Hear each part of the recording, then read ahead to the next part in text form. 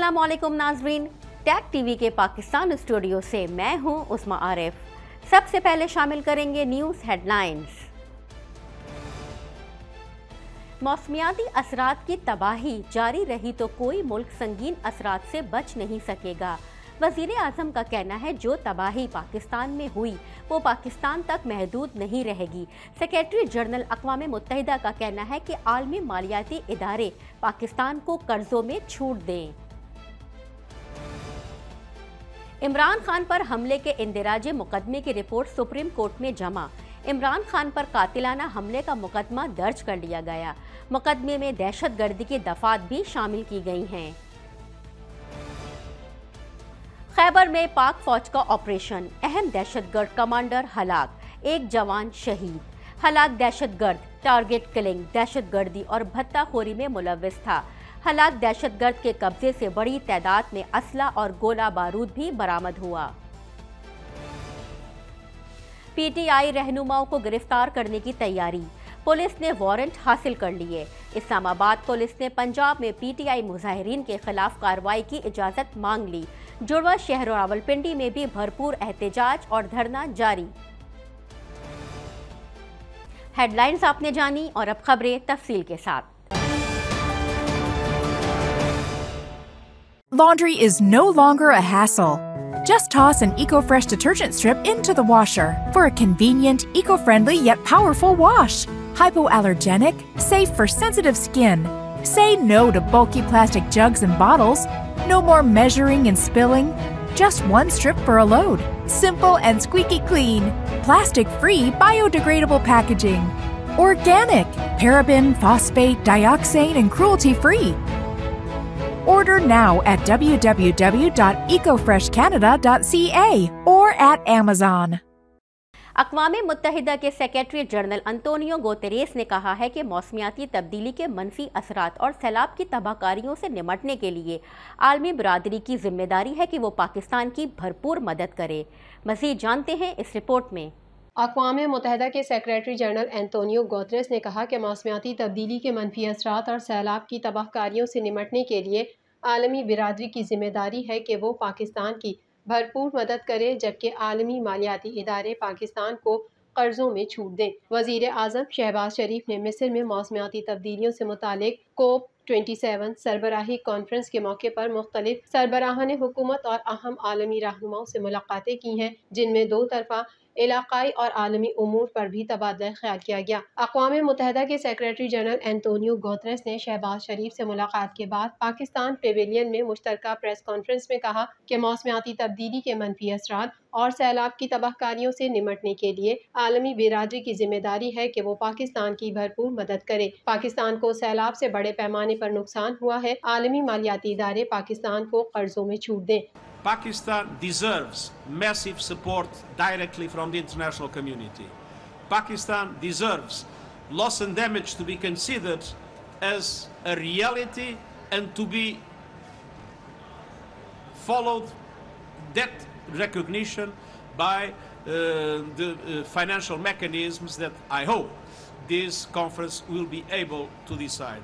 वज़ीर अजम शहबाज शरीफ ने कहा कि मौसमियाती तब्दीली के बायस जो तबाही पाकिस्तान में हुई, वो पाकिस्तान तक महदूद नहीं रहेगी। सैलाब से हमारे समाजी और इकतदी निज़ाम को शदीद नुकसान पहुँचा है।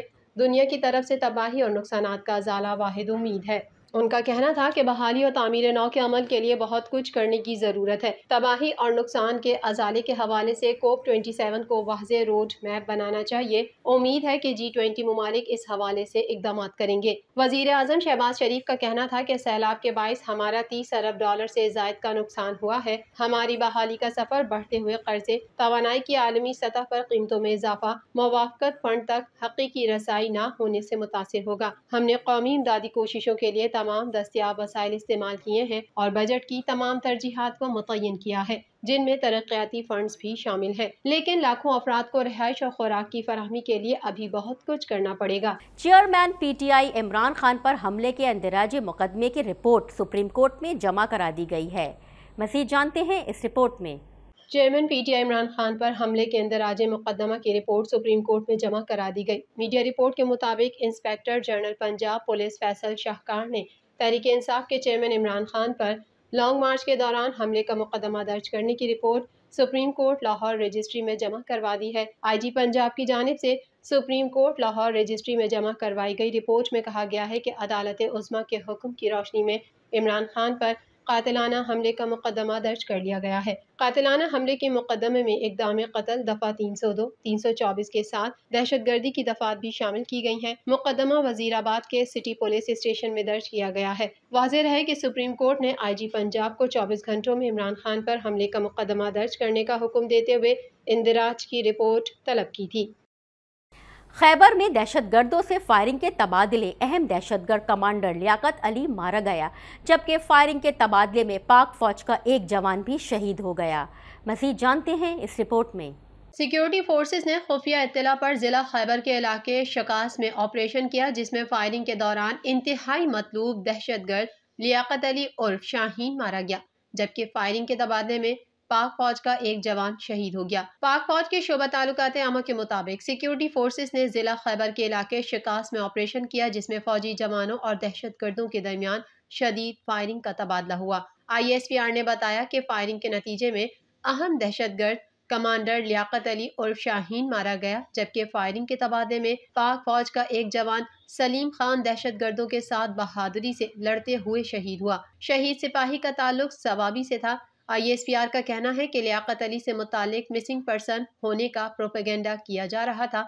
ऑपरेशन के दौरान हथियार और गोलियाँ भी बरामद की गई हैं। आईएसपीआर की जानब से इस अजम का आदा किया गया है कि पाक फौज हर कीमत पर दहशत गर्दी के खात्मे के लिए पुरजम है। आईएसपीआर के मुताबिक हला दहशत गर्द टारगेट किलिंग दहशत गर्दी और भत्ता खोरी में मुलविस था। इसके कब्जे से बड़ी तादाद में असलाहा और गोला बारूद भी बरामद हुआ। आईएसपीआर का कहना है कि पाक फौज दहशत गर्दी की लानत को ख़त्म करने के लिए पुरज़म है। हमारे बहादुर जवानों की ऐसी कुर्बानियाँ हमारे अज़म को मज़ीद मज़बूत करती हैं। पाकिस्तान तहरीक इंसाफ के सरबरा और सबक वज़ीर अजम इमरान खान पर कातिलाना हमले के खिलाफ। पार्टी की जानब से दूसरे रोज़ भी जुड़वा शहरों रावलपिंडी में भरपूर एहतजाज और धरना जारी है। दीगर अहवाल जानने के लिए देखते हैं ये रिपोर्ट। पाकिस्तान तहरीक इंसाफ के सरबरा और सबक वज़ीर अजम इमरान खान पर कातिलाना हमले के खिलाफ पार्टी की जानब से दूसरे रोज़ भी जुड़वा शहर रावलपिंडी में भरपूर एहतजाज और धरना जारी है। विफाकी पुलिस ने सेक्रेटरी दाखिला और चीफ कमिश्नर को खत लिखकर इस्लामाबाद एयरपोर्ट को जाने वाली एम वन और एम टू को क्लियर करने की इजाज़त मांग ली, जबकि पुलिस ने तहरीक इंसाफ के रहनुमाओं के वारंट गिरफ्तारी हासिल कर लिए अली अमीन गंडापुर और परवेज खटक इस्लामाबाद पुलिस को पहले ही मुकदमात में मतलूब हैं। तफसीत के मुताबिक इस्लामाबाद पुलिस ने गुलाम सरवर खान और जुल्फी बुखारी समेत दीगर पी टी आई रहनुमाओं के वारंट गिरफ्तारी हासिल कर लिए। जराये का कहना है की अली अमीन गंडापुर और परवेज खटक इस्लामाबाद पुलिस को पहले ही मुकदमात में मतलूब है। विफाकी हुकूमत की इजाज़त से इस्लामाबाद पुलिस, रेंजर्स और एफ़ सी मोटरवे खुलवा सकती है। याद रहे, गुजशत रोज़ विफाकी दारकूमत इस्लामाबाद में इजलास हुआ था, जिसमें पाकिस्तान तहरीक इंसाफ के अहम रहनुमाओं के खिलाफ क्रैकडाउन का फैसला किया गया था। जराये के मुताबिक मुतल इदारों ने सबक वज़ीर दिफा परवेज खटक समेत पी टी आई के दीगर अहम रहनुमाओं, आमिर क्यानी, शेख राशिद शफीक के वारंट गिरफ्तारी हासिल कर लिए गए हैं। इसके अलावा अली अमीन गंडापुर और मलिक आमिर डोगर को भी गिरफ़्तार करने का फैसला किया गया था। दूसरी जानब इमरान खान पर कातिलाना हमले के खिलाफ एहतजाज के लिए पी टी आई कारकुनों ने जुड़वा शहरों के मरकजी मलका शाहराहों को बारह मकाम पर एहतजाज और धरना जारी है। मुजाहरीन ने टेंट भी लगा दिया और सड़कों को बंद किया हुआ है। जबकि विफाकी दारकूमत इस्लामाबाद के जुड़वा शहर रावलपिंडी में दो दिन के लिए तालीमी इदारे बंद कर दिए गए। डिप्टी कमिश्नर की जानब से जारी नोटिफिकेशन के मुताबिक रावलपिंडी में दो दिन के लिए तालीमी इदारे बंद रहेंगे।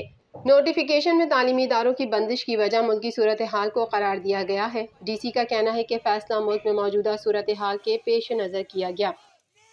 मजीद खबरें भी बुलेटिन का हिस्सा होंगी, मगर यहाँ लेते हैं एक छोटा सा ब्रेक।